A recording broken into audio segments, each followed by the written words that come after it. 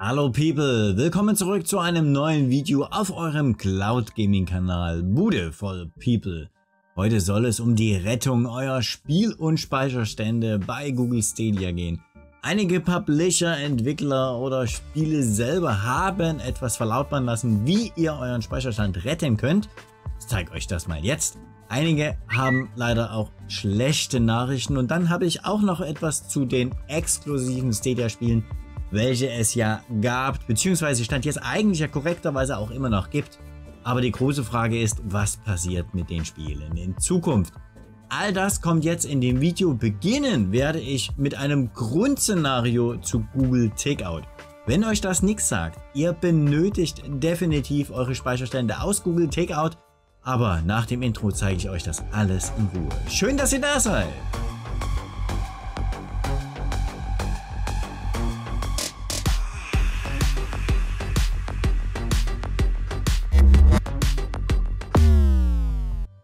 Beginnen wir also wie besprochen direkt mal mit Google Takeout. Und keine Angst, in der Videobeschreibung findet ihr natürlich alle Links zu den Diensten und zu den Quellen, die ich euch hier benenne. Also unter takeout.google.com kommt ihr hier in euer Google-Konto, Google Datenexport auf Deutsch. Ihr müsst natürlich eingeloggt sein mit dem Konto, mit dem ihr das auch machen wollt. So und ganz als allererstes müsst ihr einmal hier die Auswahl aufheben und dann scrollt ihr weit runter. Ganz weit runter. Ganz weit runter, denn je nachdem wie verschachtelt ihr im Google-Universum seid, habt ihr eventuell eine ganze Menge Dienste schon genutzt oder auch nicht genutzt. Hier, stopp, stopp, stopp. Hier ist Stadia. Dann machen wir den Haken dran. Mehrere Formate ist völlig egal, das lassen wir alles so. Und dann scrollen wir bitte bis ganz ans Ende und sagen einmal nächster Schritt. In diesem nächsten Schritt möchten wir den Download-Link Download per E-Mail zugesandt bekommen. Jawohl, man könnte optional das Ganze auch zu Drive hinzufügen, zu Dropbox, OneDrive oder zu Box. Ich möchte diesen Link bitte per E-Mail haben. Das ist so okay. Ähm, ja, ich möchte das nur einmal machen und zwar jetzt, genau in diesem Moment. Ihr könntet aber auch theoretisch, wenn ihr all eure Google-Daten sichern wollt, das immer wieder zum Beispiel alle zwei Monate machen. Kein Problem. Dateityp bleibt bitte ZIP, Dateigröße ebenfalls 2 GB. Falls ihr euch fragt, was das ist, aller 2 GB würde er eine neue Datei, eine neue ZIP-Datei erstellen. Nur darum geht es hier. So, und dann wollen wir einmal den Export erstellen. Jawohl, und genau so sah das auch bei mir aus, als ich das so beim Hauptkonto gemacht habe. Dieser Vorgang kann Stunden oder Tage dauern, halt je nachdem, wie viel ihr habt und wie viel ihr angeklickt habt. Bei meinem Hauptkonto hat das Ganze eine halbe Stunde gedauert und dann habe ich auch meine Links bekommen. Ich blende euch die hier mal ein. Und dann ladet ihr euch die im Grunde einfach nur runter. Und was ihr dann danach mit denen macht, das zeige ich euch jetzt bei einigen der Spiele. Eure Google Takeout-Daten benötigt ihr zum Beispiel, wenn ihr Cyberpunk 2077 auf einer anderen Plattform kaufen wollt und dann auch spielen wollt. Beispielsweise halt um euren Fortschritt mitzunehmen. Und hier bezieht man sich ganz klar auf die Methode via Google Takeout. Und es wird euch auch nochmal erklärt, genau derselbe Vorgang, wie ich den jetzt schon gemacht habe. Wie geht's dann weiter? Ja, ihr müsst das Spiel natürlich dann irgendwo auch mal kaufen und auch zum Beispiel downloaden. Das geht leider nicht anders. Und dann auch in die abgespeicherten Daten reingehen. Und hier wird euch dann komplett erklärt, wo ihr welche Spieldateien genau hinspeichert. Wenn ihr das im Detail nochmal genau überprüfen wollt, Jiggy Boink hat ein schönes Video dazu gemacht und er steht auch gern mit Rat und Tat zu allerhand Google Takeout Sessions zur Verfügung. Stimmt's, Jiggy? Ubisoft dagegen fährt eine ganz andere Schiene. Und zwar hat man angekündigt via Twitter, dass man daran arbeitet, die Spiele, die man bei Stadia bereits besitzt von Ubisoft, über Ubisoft Connect auch auf PC zu bekommen. Das heißt, irgendwo steckt Ubisoft Connect da, da in der Mitte eure Lizenz wird einfach einmal übertragen als PC-Lizenz und dann könntet ihr das theoretisch dann, wenn das Spiel verfügbar ist, auch via GeForce Now zocken. Ähm, Neuigkeiten dazu gibt es seit dem 30. September nicht. Falls da neue Infos kommen, werde ich euch natürlich nochmal updaten.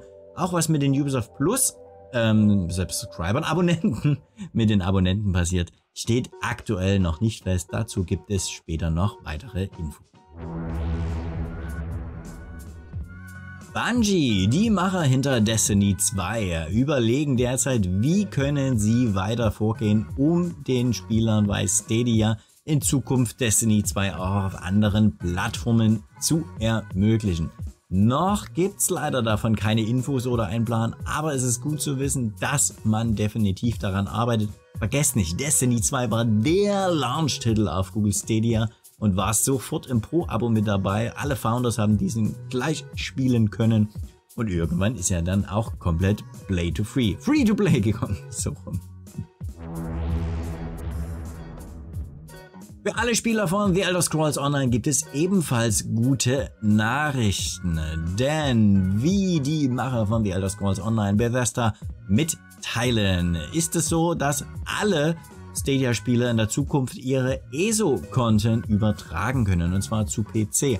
Das heißt, der gesamte Fortschritt, inklusive natürlich ihren Charakter, die gekauften Inhalte, die Errungenschaften und Herausforderungen, die man bisher freigeschaltet hat, und natürlich das ganze Inventar werden am Ende auch übertragen.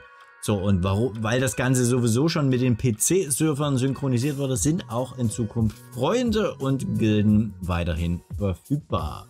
Also, das hört sich doch richtig gut an. Ebenfalls via Google Takeout hat Giant Software, die Macher des Landwirtschaftssimulators 22, bekannt gegeben, dass der Spielfortschritt übertragen werden kann. Nachdem ihr einmal eure Daten via Google Takeout rausgeholt habt, wird ganz genau erklärt, was ihr wohin kopieren müsst. Zum Beispiel halt, um euer Safe Game genau rauszuholen, was ihr dann mit dem ZIP-Datei davon macht, wo ihr den wieder reinkopieren müsst und was ihr sonst noch anpassen müsst. Das Ganze ist nicht so easy, geht also wirklich die einzelnen Schritte mal durch und auch hier steht euch die Community bei Cloudplay beispielsweise zur Verfügung. Bei größeren Fragen auch per Twitter einfach mal den Lisatan antexten, der steht euch da bestimmt auch gerne mit Hilfe parat. Leider gibt es für Outriders anscheinend keinen zukünftigen Spielspaß für ehemalige Stadia-Besitzer, weil Cross-Progression irgendwie nicht so dabei ist. Also Cross-Plattform-Progression, so wie es hier in der E-Mail schreibt, vom People Can Fly Team.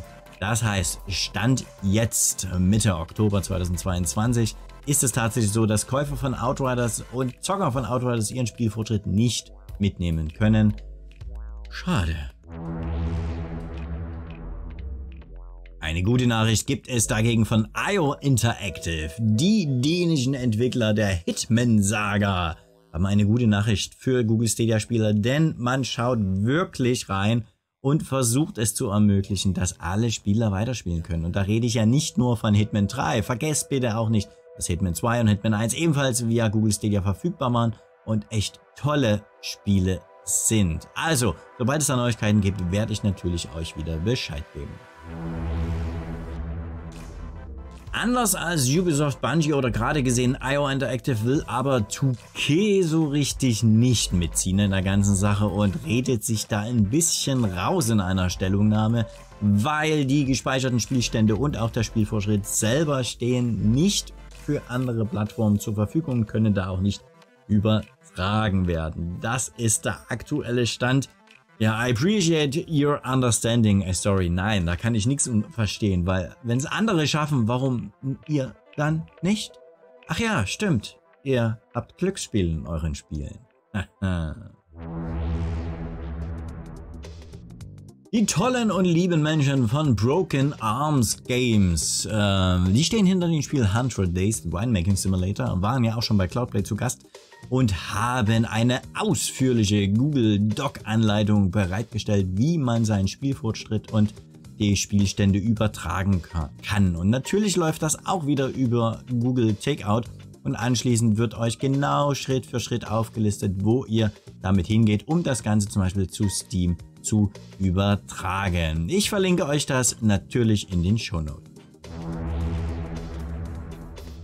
Dead by Daylight ist nicht nur eins der immer noch meistgespielten Spiele bei Steam, sondern hatte auch eine treue Fanschaft bei Google Stadia.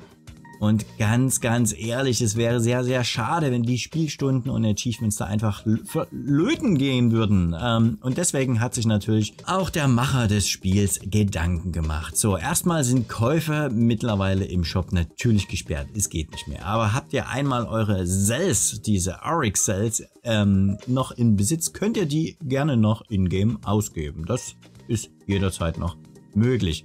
So, aber dann wird wirklich empfohlen, bitte ähm, die Content zu verknüpfen. Und zwar euren Dead by Daylight Konto bitte mit einem BHVR-Account, Behavioral. Ich glaube, so hieß das, ne? Ja, genau, Behavior. Ähm, Konto einfach mal bitte synchronisieren und verlinken, weil dann könnt ihr später dann auch Cross-Progression wirklich aktivieren. Ich sage extra später, weil momentan ist es irgendwie nicht funktionstüchtig. Es soll einen Bug geben. Und ja, das Team ist dran und will wirklich ganz, ganz dringend diesen Bug lösen, damit Cross-Progression wieder funktioniert, bevor Stadia am 18. Januar die Lichter ausmacht. Und es wird da definitiv bald neue Informationen zu geben. Also, ich drücke die Daumen, dass das wirklich so klappt in der Zeit wie geplant. Eine leider nichtssagende Twitter-Meldung hat Larian Studios rausgehauen, die Macher von Baldur's Gate 3. Das Spiel ist seit knapp zwei Jahren im Early Access via Google Stadia verfügbar und irgendwie schreibt man in dem Tweet nur, ja, dass Google halt seinen Dienst einstellt, aber wenn die es richtig verstehen, dass Baldur's Gate 3 bis dahin noch spielbar ist. Was auch korrekt ist. Aber die Frage ist, Leute, was passiert mit eurem Spiel danach? Was passiert jetzt mit eurem Spiel? Kann man das irgendwo mit hinnehmen? Stand jetzt gibt es dazu keinerlei Informationen und ich wiederhole mich aber, wenn sich daran was ändert, ich werde es euch mitteilen. Muse Games, die Macher von Amber, dem Firefighter Game, haben eine richtig gute Nachricht für alle Besitzer des Amber Spiels auf Stadia. Und sei es nur, weil ihr das Spiel in Stadia Pro mal mitgenommen habt. Weil ihr könnt einen kostenlosen Steam Key für das Spiel bekommen, wenn ihr es so macht wie hier auf dem Screenshot dargestellt. Ihr müsst nämlich einfach aus eurer Stadia Bibliothek ein Screenshot kreieren, in dem deutlich ersichtbar ist, dass das Spiel Ember in eurer Bibliothek ist und gleichzeitig eure E-Mail-Adresse oben auch angezeigt wird. Das macht ihr, indem ihr einfach auf euer Stadia-Avatar geht. Schickt diesen Screenshot bitte einfach an feedback at newsgames.com und dann bekommt ihr den Steam Key zugeschickt. Richtig, richtig nice, muss ich sagen. Chapeau. Vielen Dank an Muse Games. Das deutsche Entwicklerstudio Clockwork Origins war auch erst neulich bei Cloudplay der Talkshow zu Gast und hat jetzt in einem Blogpost bekannt gegeben, wie man denn weiter umgeht mit der Situation. Und nicht nur, dass Elemental War Teil 1 unmittelbar vor einem Release bei Stadia stand, nein, das Spiel kommt jetzt natürlich leider nicht mehr. Aber wenn ihr Elemental War 2 und Tri-6 Infinite gespielt habt und ihr es euch für andere Plattformen nochmal neu kaufen wollt, ja, dann könnt ihr euren Fortschritt mitnehmen. Und zwar indem ihr einen Clockwork-Account erstellt und dann einfach diesen Fortschritt übertragt. Das einzige ist wohl euren aktuellen Lauf in Elemental War 2, Elemental War 2 verliert ja genauso wie eure Spieleinstellungen. Aber ansonsten alles Item Unlocks Quest werden synchronisiert, so dass ihr wirklich nicht von vorn anfangen müsst. Gute Nachrichten, gute Arbeit, die die Jungs da machen. Chapeau. Techiaworks hat Terrific News für Guild-Fans am Start und zwar, und zwar ist Guild ja wirklich eins der ganz, ganz tollen Exklusivspiele bei Google Stadia.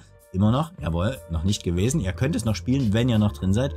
Und wow, ich freue mich super drauf, dass Guild wirklich ab 2023 neu als Multiplattform-Spiel released wird, muss man ja wirklich sagen, weil es momentan noch nicht für andere Dienste zur Verfügung steht. Ich habe das Spiel echt viel angespielt und lange gespielt, aber irgendwie nie zu Ende gebracht. Schade eigentlich. Ob ich das noch schaffe fürs Januar? Hm, mal schauen.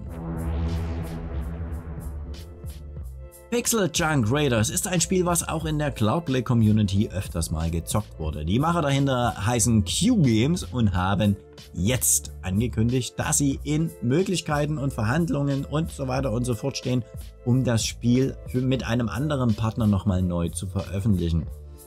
Wenn ihr also Kontakte zu Publishern habt, die Jungs wären sicherlich sehr, sehr froh darüber, aber der Tweet ist auch schon vom 30. September, also vielleicht hat sich seitdem schon etwas getan. Aktuell gibt es noch keine Neuigkeiten dazu, ich gehe aber fest davon aus, dass das Spiel gerettet werden wird, weil es ist echt gut.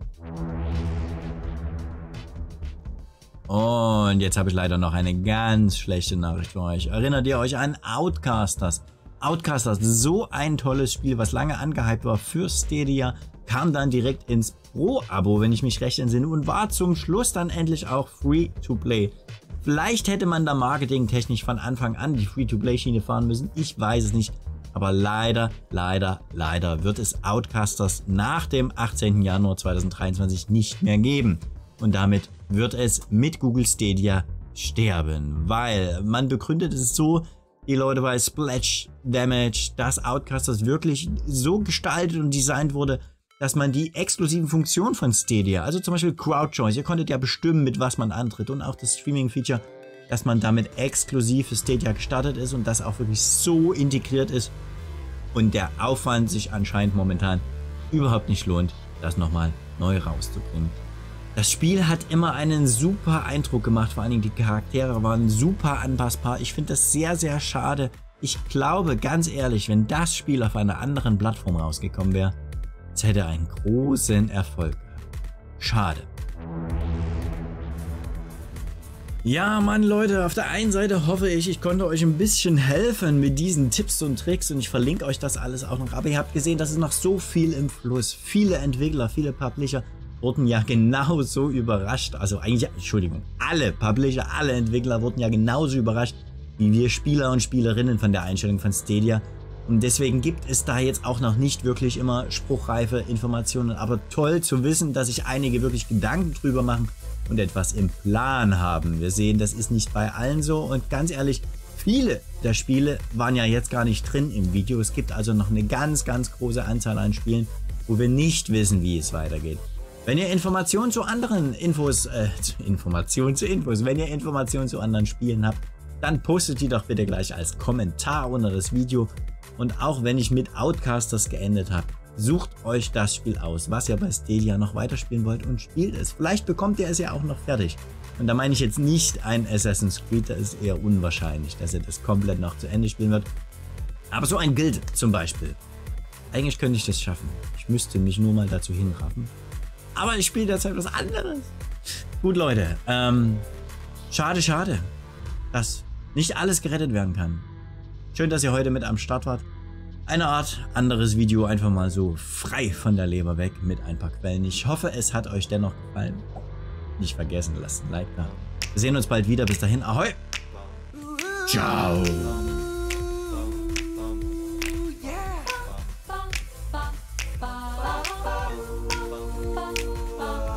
Beautiful People ist eine Produktion der Beautiful People Content Creation. Oder hier Produziert mit Liebe und Leidenschaft, eigenen Equipment. Und hier, falls ihr noch nicht Für abonniert euch habt, aus Dresden in Habt ihr noch nicht Musik von abonniert? Deichkind und Geek Music.